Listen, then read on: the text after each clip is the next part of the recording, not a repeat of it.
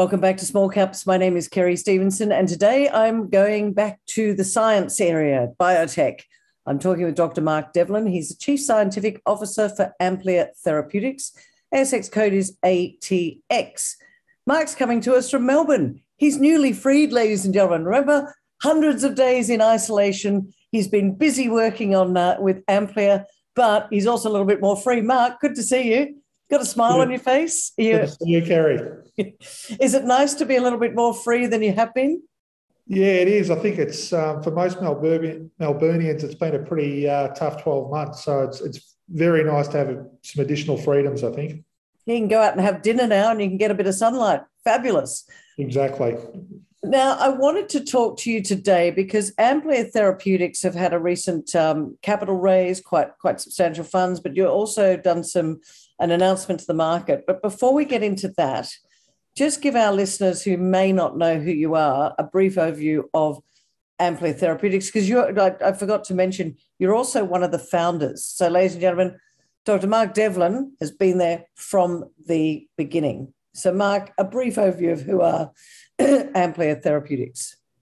So, Amplia Therapeutics are a, a, company that are developing small molecules in the oncology space. So, we're looking to treat cancer. We're also looking to treat fibrotic diseases. So, um, you know, this is built on some really good Australian science. These molecules have come out of basically a, a consortium originally of leading medical research institutes um, and some commercial partners. Um, they were taken on, bo- on board by Amplia in about 2016. So this is a really exciting time for the company. Where we're basically this is the culmination of um, you know seven or eight uh, years of, of research and on the cusp of, of moving into clinical trials, which is pretty exciting. Yeah, well, on the cusp of, if we can just go back to the type of drugs in the area, because you mentioned a couple of words, fibrosis. Yep. What what what uh, what are the drugs treating? What type of diseases? So our lead molecule, our lead asset, is a compound called AMP nine four five.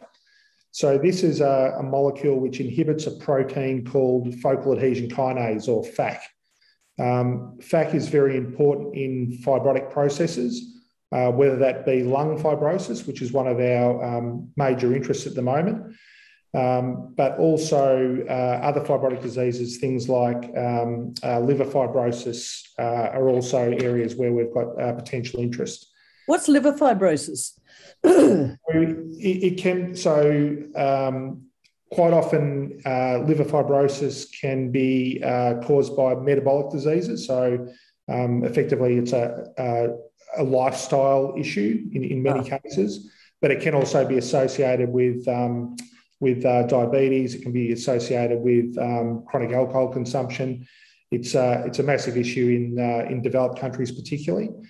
Um, but certainly, the, the main focus in, in terms of our uh, fibrosis research or our preclinical work has been around lung fibrosis.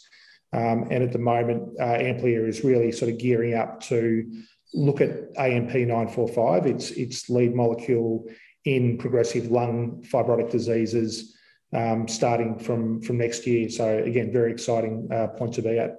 Is that a big market, lung fibrotic disease? I mean, you know, you hear about lung cancers and that sort of thing, but how how you, you you're going into this area? Is it a very um, focused, smallish market, or is it quite big? Just trying to get an idea of what your where your drug will be used.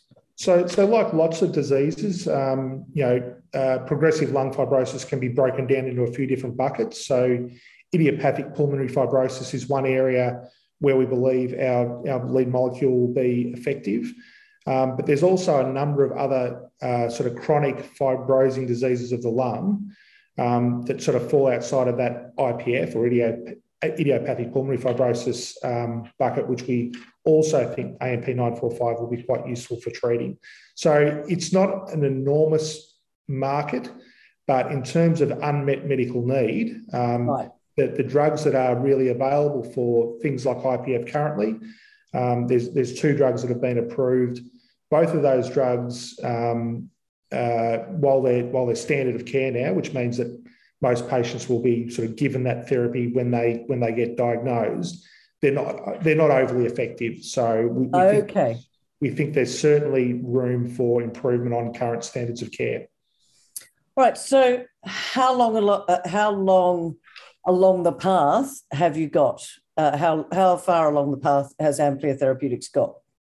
Um, so this is a really exciting time for us. I mean, okay. one of the nice things about Amplia is we've worked with sort of leading uh, scientists, um, both in Australia and overseas, to really frame, you know, where where we believe our drugs will be most effective in the clinic. Um, and we've done now the help the healthy volunteer phase one trial, um, and we've that's that's been pretty exciting. That was completed uh, earlier this year, um, and basically tells us that our drug uh, is safe and tolerable at the doses that were administered in that healthy volunteer trial. Um, but more recently, that also the drug is hitting the target as it's been designed to do. And what I mean by that is that it's actually binding to the target protein FAK um, in the healthy volunteers and it's inhibiting that protein. And that's a really important uh, finding um, and gives us uh, much, um, much more confidence moving into the patient trials next year. Is it what you expected, Mark, or has it exceeded your expectations? Because not being a scientist myself yep. and my, my audience out there, you know, we're investors, we're looking for companies that I guess in your case, breakthrough technologies. Um, you said it was an exciting time. What I want to understand is has this exceeded your expectations or were you expecting this? I think this has confirmed our best expectations. So we, we, knew going into the healthy volunteer phase one trial that AMP 945 was a very selective drug, which means that it inhibits the, the protein of interest, FAK, but it doesn't really touch any other related protein. So from that, we were predicting that it would have a very good, very tolerable um, profile, and that was confirmed in the uh, in the study. Um, but also, the, the most recent supplementary data also tells us that, um, or, or, provides very strong evidence that once daily dosing of, of our compound, AMP 945, and that's oral dosing, so yep. you know, very easy to do, inhibits the, the target in, in a manner which is um, related to dose. So I think that's quite often companies don't have that level of confidence moving from a phase one for, from a phase one trial into a phase two. So for us, that was a really nice supplementary finding uh, that, as I say, gives us additional confidence moving into those patient trials next year. So let's go through what that process is. phase one, successful, bit of excitement around that. What does phase two look like? And are, are you funded for that? So Amplia has recently uh, completed a, a $12 million cap raise. And that really gives us, puts us in a very strong position to enter into um, particularly our, our pancreatic cancer trial starting uh, next year. Um, it's important to note that the, the approach that Amplia is taking is really to build on top of pancreatic cancer standard of care. Um, what does that mean? So, standard of care for any disease is the best therapy which is currently available. Okay. So, in, in the case of pancreatic cancer, uh, however, standard of care therapies um, still aren't enormously effective in a lot of patients. So, the vast majority of patients that are diagnosed with, with pancreatic cancer will receive a combination of drugs uh, called gemcitabine and Abraxane. So, that's, that's effectively the standard of care therapy in most developed countries. What uh, Amplia is going to do in its clinical trial is not try and replace that standard of care. Um, it's really trying to build on top of it. So, our approach will be to use our drug, AMP 945, in combination with gemcitabine and Abraxane as the standard of care agents.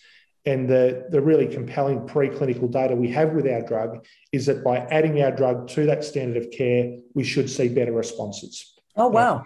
That, and you know, and pancreatic cancer, and I'm sure many of you out there do know, and I know from firsthand experience through a friend of mine, who, by the way, had a great result. We love her dearly. She's seven years in, so God bless her, she's got through it. But the majority don't have such a good outcome. So this is really, really important uh, that if you get a successful outcome, this is changing people's lives. Yeah, it, it, absolutely is. And I think that the other advantage of the Amplia approach is that by adding to standard of care, we're, we're given the opportunity to treat patients when they're first diagnosed with disease.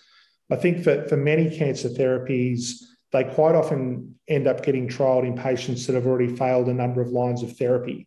Um, okay, and, got it. And, and, as you can imagine, each time a, a, patient fails a line of therapy, they're sort of moving down the list. Yeah. Whereas I think in, in Amplia's case, the design of the phase two clinical trial in pancreatic cancer allows us to treat patients um, on first line therapy in combination with standard of care. And I think that's that makes us quite uh, quite a different approach to many companies. Yeah, because what you're what you're saying to me is instead of waiting for this one to fail and that one to fail and this one to fail, and you know what, we're so far down the track, this is kind of like the last option. You're yeah. saying that with Amplia's drug, AMP 945, that can be introduced right at the beginning. Is that what you're saying? That's correct. In, in patients that are receiving uh, wow. uh, gemcitabine and Abraxane for the first time. Is that unusual? Not being scientific myself, is that unusual? it, it is quite unusual, um, but you know the, the scientific evidence and all the preclinical work that we've done, um, as you may well be aware, and this has been obviously announced to the market, we yeah we do a lot of work with uh, the Garvan Institute and particularly uh, Professor Paul Timpson's group at the Garvan. Yep. So our clinical trial approach in pancreatic cancer has really been framed by a lot of good quality preclinical science that we've done uh, with Paul's group. So we're, we're confident based on that data that this approach of combining AMP 945 with gemcitabine and Abraxane um, has a, a real potential in, in pancreatic cancer patients to improve overall responses. Mark, as the founder, one of the founders of Amplia, what was it that you said, you know what, we can change people? What was it about this? Because there's a lot of drugs out there, a lot of biotech companies out there. I guess what I'm wanting to find out is what was it that you saw that you thought, you know what, this could change lives and this could be extremely successful? Well, I think it's been a, a long journey with the, the focal adhesion or FAK inhibitors. So certainly there, there was some drugs around uh, maybe 10 or 12 years ago that were trialled as single agents. So uh, in the oncology setting, so single agent FAK inhibitors, not admittedly drugs that we don't think were as selective or as potent as our compound, but they were trialled in cancer um, sort of 10 or, 10 or so years ago as a single agent. They weren't particularly effective. Now, what we've done is really sort of build the, the preclinical science package by working with you know, world leaders in, in FAK biology.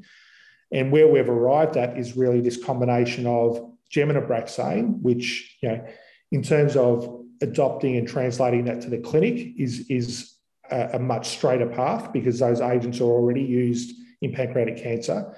But the science really points to improved outcomes, at least in preclinical models, when you combine a FAK inhibitor and AMP 945 specifically, a lot of the work has been done with, with those two standard of care agents. So, you know, we're, we're moving into, into phase two trials with what we believe, you know, is the support of world-class science.